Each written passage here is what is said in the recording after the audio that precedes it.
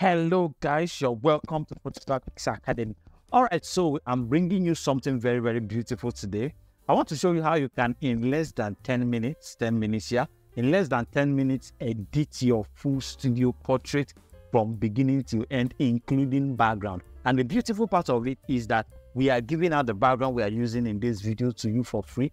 And I have another good news. We have generated over 500 hyper-realistic backgrounds that you can use in your studio portrait and change the game for yourself. So from these hyper-realistic backgrounds we've generated, we are going to be picking one.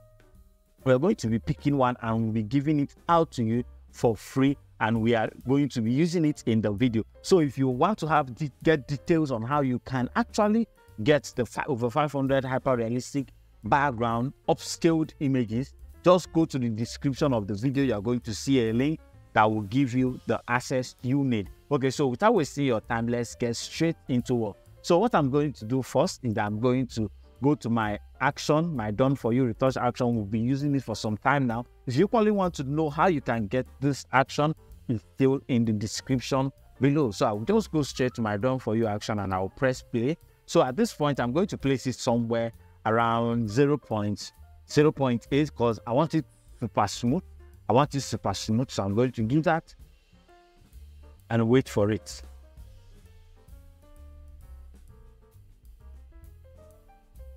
Beautiful. So that's done, right? Yeah, that's done. So look at the image. This is before, this is after, this is before, this is after. See the way it just changes everything about the picture in less than a few seconds. And we are done. So I'm going to obviously flatten it just to make to keep the whole thing simple. You can equally try using your auto, dodge and burn right now, but I'm going to use that later at the end, towards the end of the video. So the next thing I'm going to do is I'm going to select the background, separate the image from the background, then import our background. Remember we said in less than 10 minutes. So let's see how that goes. So I'm going to select inverse, zoom in a little to fix the selection and make sure it's not in places I don't want it to be. Yeah, I think the hair is okay. Nice. Okay, so look at the tip of the shoe. So just remove that and we are good to go. Okay, so there's one more area here that we need to select, just somewhere in here. So remove this part, remove this part, and we are good to go. So I'm going to duplicate the background. Don't use Ctrl J. Press right click on the image and select layer via cut. Hold your control, reload the selection, or you can actually right click and reload the selection. Press, go to filter, go to blur, Gaussian blur so I'm going to blur this background out until it appears smooth. Then I'll press OK and press Ctrl D to deselect. So one more thing I want you to do is to make sure that your image layer is above only, just above here, the background below it. Then minimize your Photoshop.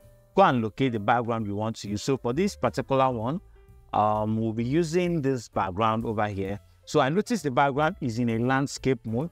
When the image we are doing, we are editing is in portrait mode. So what I'm going to quickly do is I'm going to recrop the background like this. I'm going to recrop the background, maybe somewhere like this, yeah. So I will give it space. I want it somewhere high, yeah. So I'll give it space downwards so I can be able to get uh, stuff there. Then I'll select my marquee tool, make a selection, go to my edit, content aware scale, hold your shift, and just scale here in so you will just get extra floor yeah. So that's one way you can get extra floor. So even it like this now i have a background i want to use i'm going to unlock the layer drag it over and place it over my image just like that. Nice. So i'm going to find the anchor point where it's going to work.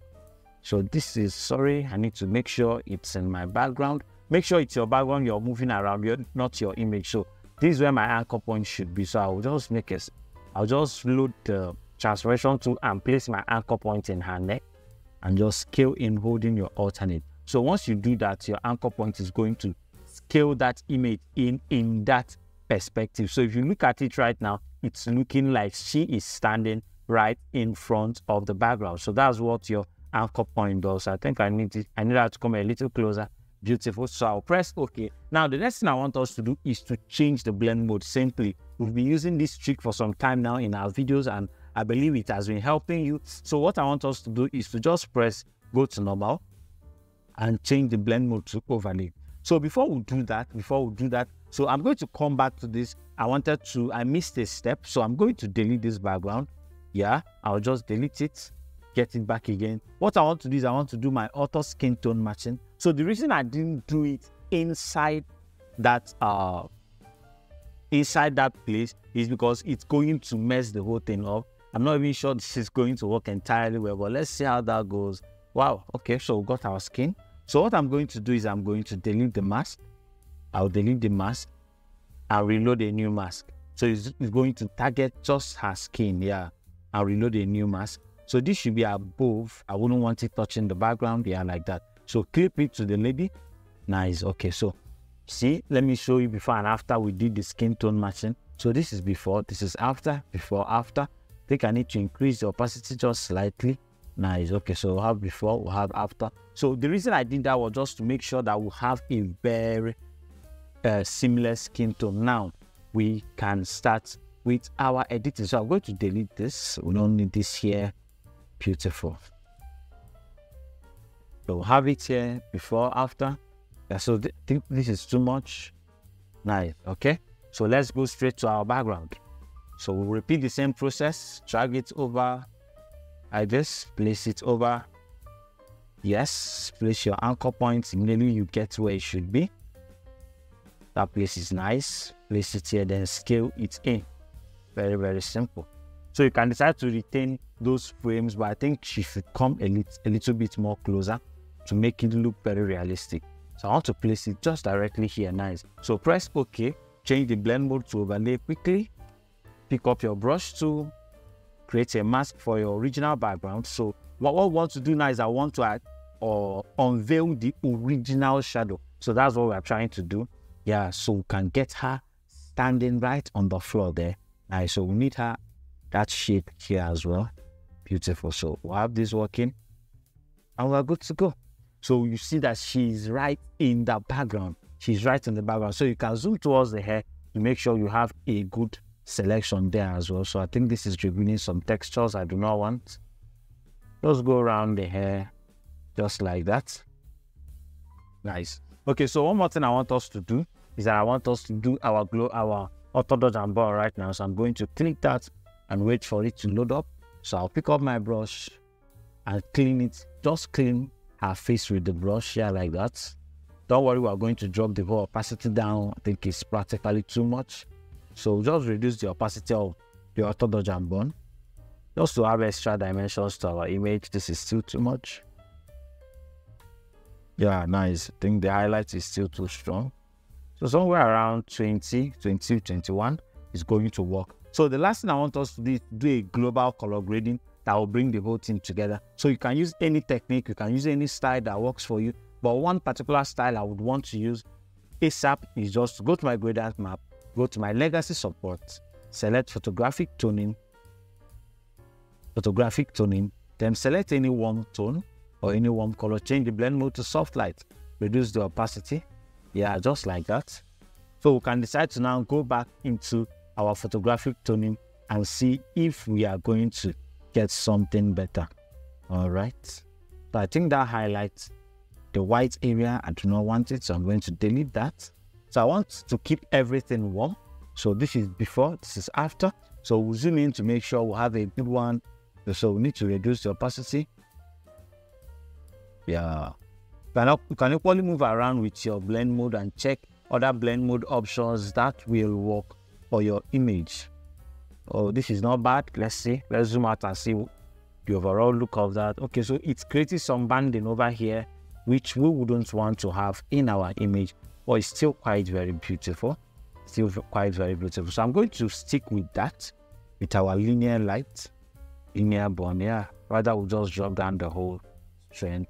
Okay, so I'm going to create a stamp visible layer, Control Shift Alternate E, go to my camera raw, and just pop up colors, and we are good to go. We are done.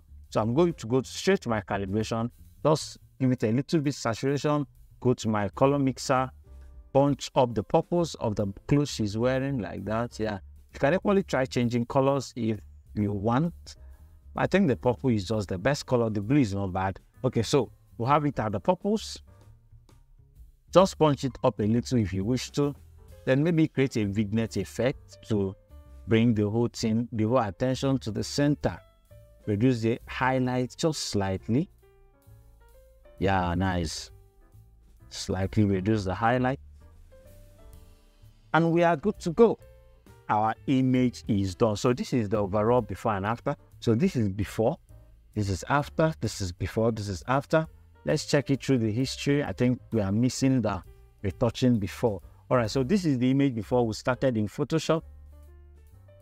Yeah, so we took it through some process and we came down here. Thank you very much for watching this amazing video. Do make sure you subscribe to our YouTube channel and on your notification bell to get notified every single time we drop a new video. Remember, this background is for free. All you need to do is just watch the video till the end and you will get your background. See you on the next one.